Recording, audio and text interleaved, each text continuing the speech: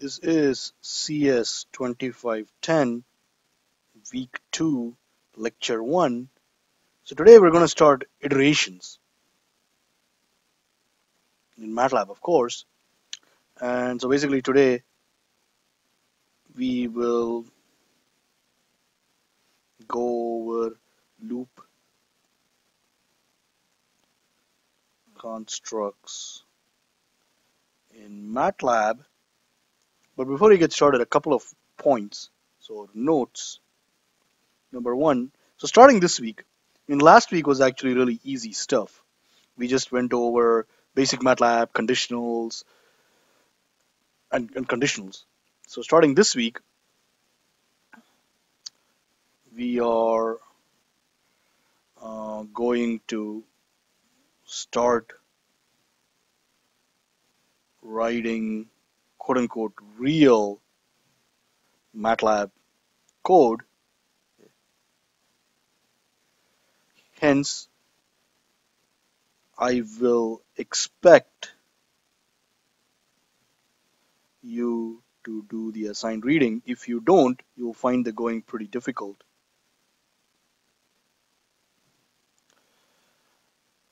I will highlight, so a second, so what I'll do in lecture is I'll highlight learning objectives.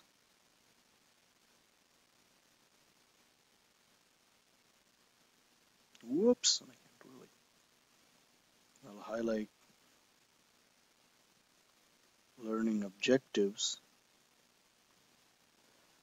and then illustrate the ideas uh, with examples plus put uh, some end of section problems okay? But again bottom line let me put this in red. I'm gonna say this like hopefully only once I don't want to keep repeating this. Bottom line please practice okay?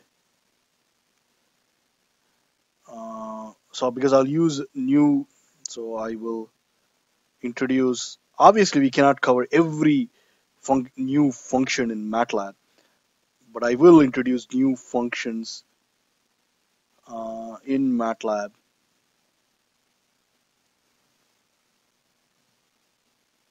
every class okay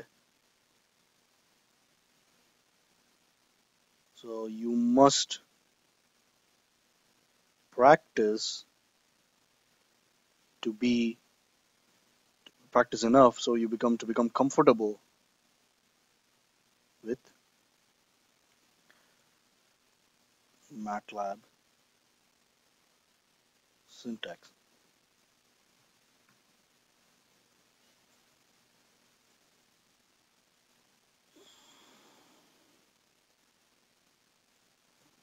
Okay, so let's get started. So for this lecture, the learning objectives are number one, concepts. And I don't do this for all my classes. I'm specifically doing this for this class because the way we are approaching this class is very unique in the sense the Cornell way of uh, highlighting concepts using mathematics. And we kind of have to do that because we're using MATLAB, right? It's, MATLAB is a mathematical simulation tool.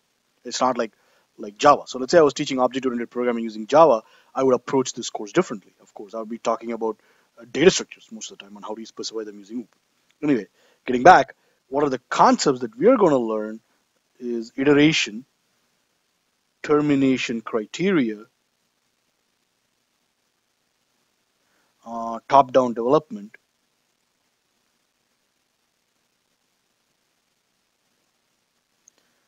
uh, sequence,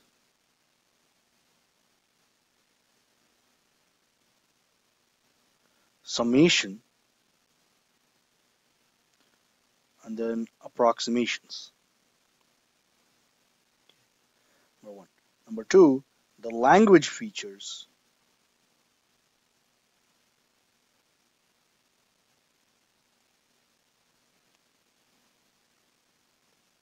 For loop, a construct to repeatedly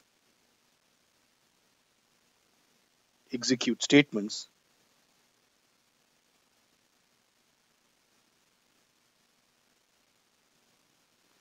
Uh, repetition. Let me save this so I don't lose this.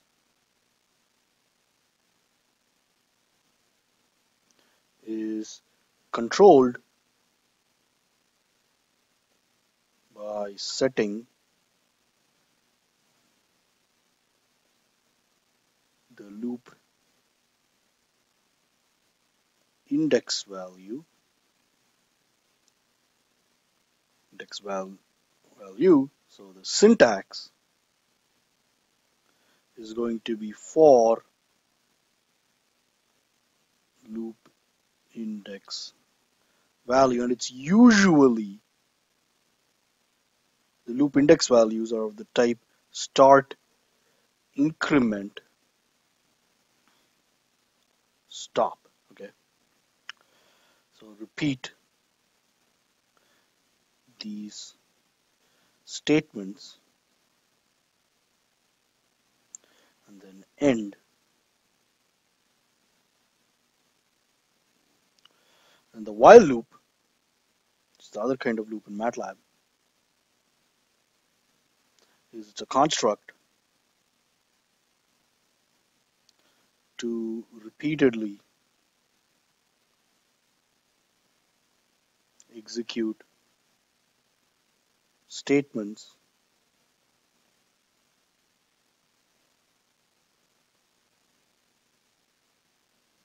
repetition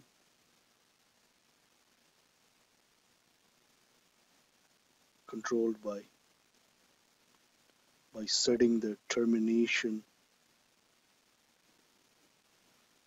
criterion has the form while termination so slightly different. The idea is the same. That is you repeat a bunch of statements. While termination criterion not met okay repeat these statements end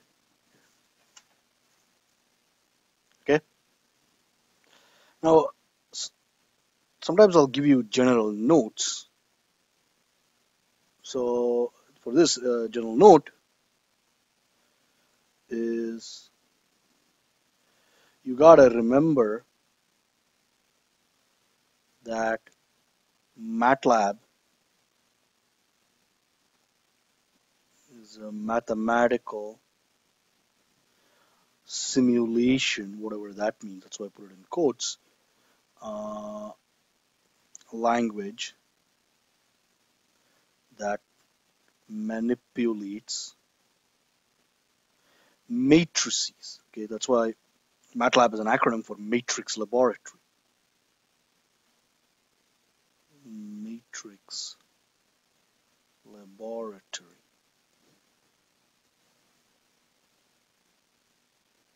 Hence,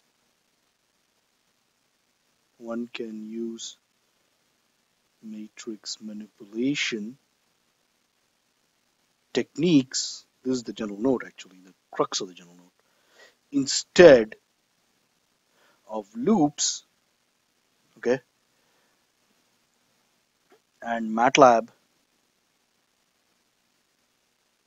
is usually more efficient the code it generates and executes when using matrix manipulation uh, using matrix manipulation techniques. However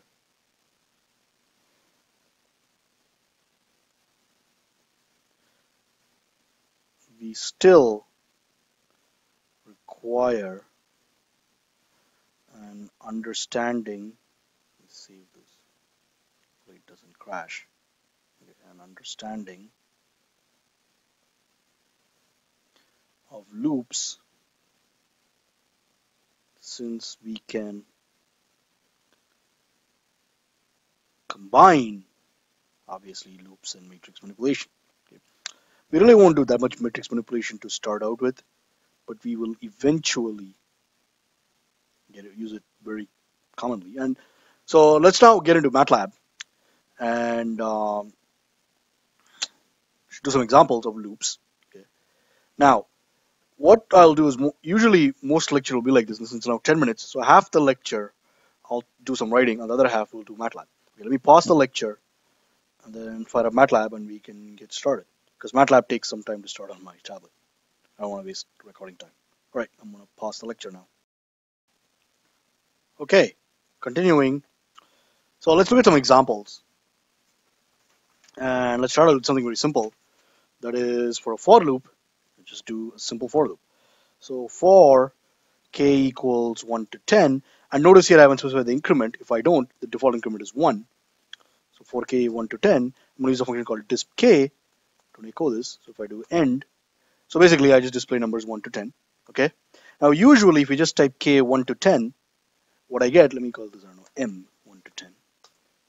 Notice I actually get a matrix, one row and uh, 10 columns. Okay. But as here, we the loop index is just a one by one matrix.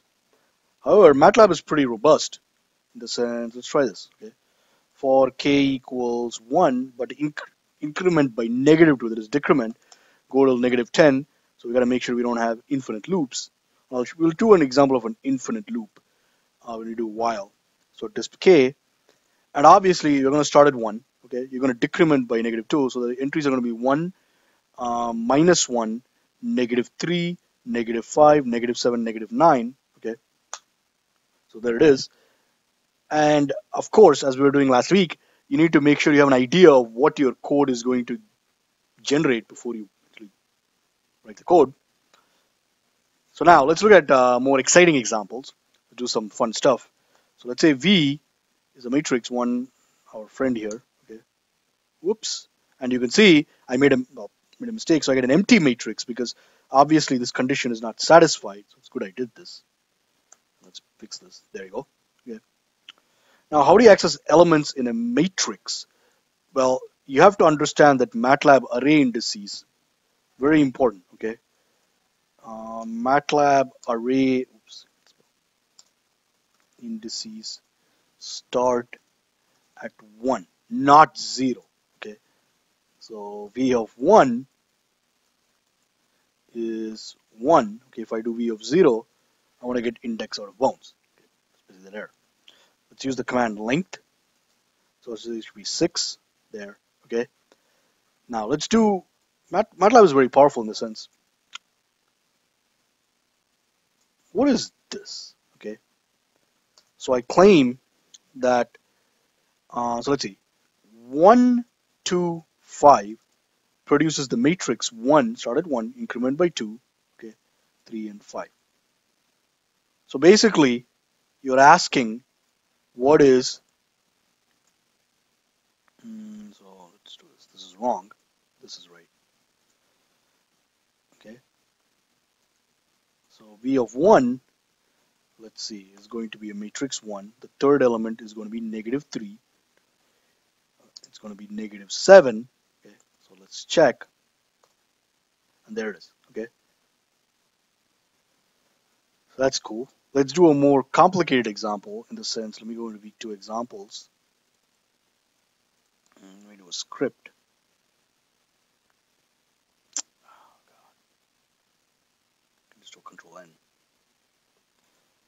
So let's say my, no, not complicated is the wrong word. It's a complicated example, more exciting example. So this is uh, one row, four column matrix so for k, one goes to length of v, okay? v of k is v of v of k minus 1. Again, on the exam, I will not, there is no MATLAB, there are no, in other words, MATLAB, no cheat sheets. I really understand the syntax. It's not that hard. Let's do this. So the solution is going to be, so let's see, let me save this uh, for loop example.m okay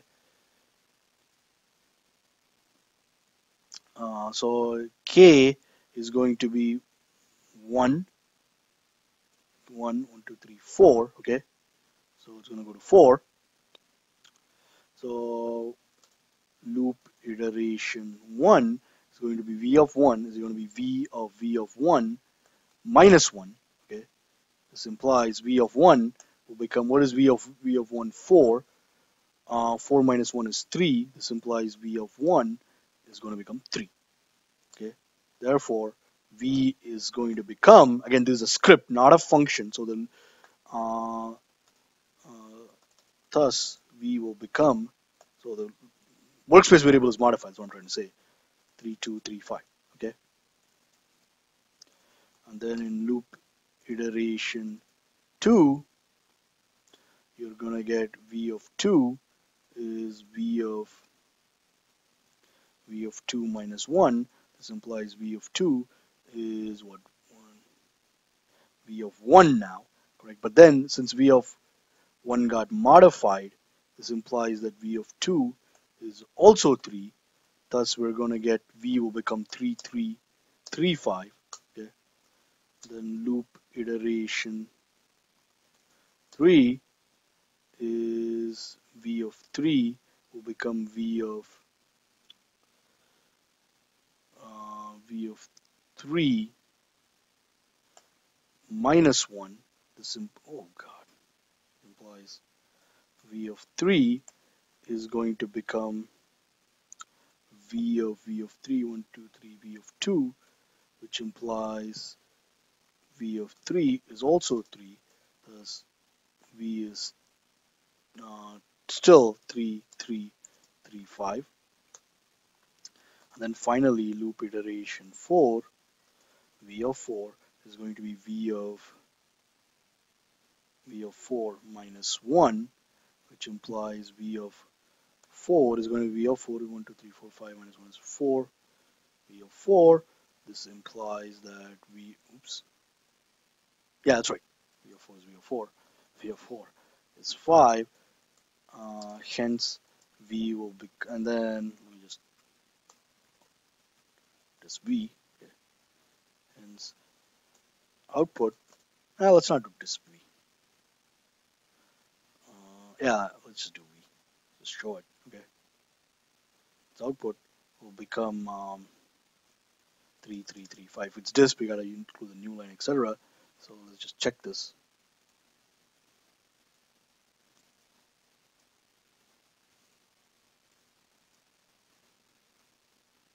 Then well you can see. And um, I haven't put a semicolon. So let's put a semicolon but this is good that you can see like you can even check your loop iteration right?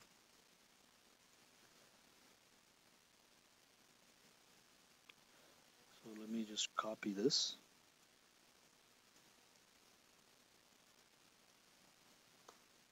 And 3335 is exactly what we predicted. Good. So now let's do a final example of the while loop. So let's make an error that is while n is not equal to length of v, okay, n equals n plus 1, but n is undefined. So you're going to get undefined variable n. Let's just make n equals 0. And then let's do the same thing. While n is not equal to length of v, n equals n plus 1. And uh, let's see, I should not have put the semicolon n equals n plus 1 uh, end, okay? Err. So n equals 0. Let's start again. I haven't I have to reinitialize the loop variable. Length of v, n equals n plus 1 end. Okay. So I start with 0, go 1, 2, 3, 4 till I hit 4 because 4 is the length of v. The loop quits. Very simple. Now what we got to be careful of, let me just turn on more functionality and this is the last thing we'll do, infinite loops. Okay. Well, n is not, so let's reinitialize n equals 0 okay while n is not equal to length of v but let's say n equals n plus 3 all right the loop is never going to end in the sense so you can see the termination condition is not satisfied. So one of the reasons why if you think about it this not equal you got to be very careful of using as a loop condition especially when the right hand side is not an integer um, let's say you're comparing something to pi, and pi is basically an uh, approximation since it's an irrational number. It's an approximation of the computer. You want to, if whenever you uh, compare, whenever you, bottom line is, this is the rule of thumb, whenever you utilize loop termination conditions, you want to make sure and understand the idea. You want to make sure the loop actually terminates by understanding what's going on. So anyway, that's about it for today's lecture. Next time we'll do more examples of loops by doing a couple of end of the section problems. All right, see you then.